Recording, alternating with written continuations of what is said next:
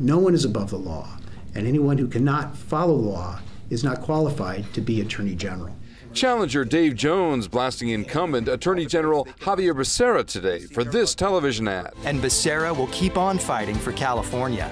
The ad was shot inside the state courts building. To use the California Supreme Court courtroom as a stage for a campaign commercial is a direct violation of law.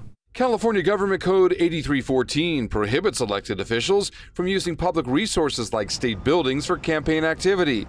The Becerra campaign denies any wrongdoing, telling KCRA 3 Dave Jones continues to have a Trumpian relationship with the truth. We obtained a permit from the California Film Commission to use the courthouse by going through the usual legal process, just as any private citizen is entitled to do.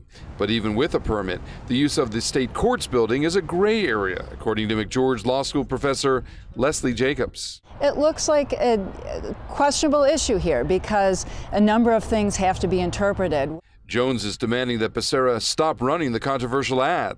But while the legal battle is brewing, the fight is really about gaining traction, according to KCRA 3 political analyst Kevin Riggs. Anytime you are looking for attention and you accuse the top law enforcement officer in California of breaking the law, you're going to get that attention. That's what Dave Jones wants. So is this a Hail Mary move? I think it qualifies.